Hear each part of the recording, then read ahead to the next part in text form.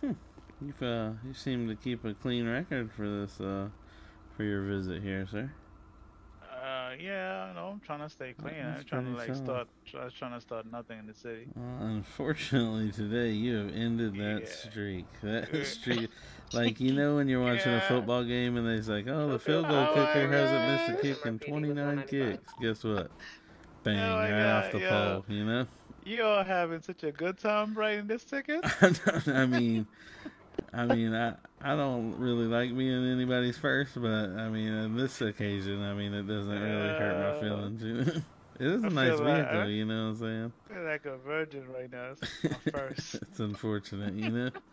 Tough times. But I'm gonna go ahead and issue the citation, and then I'll let you get Or on your you- way, sir. All right? Three on to the got Where's, where can I buy some real food I out think here, that's man? the What's going on with Escalade. these That's restaurants?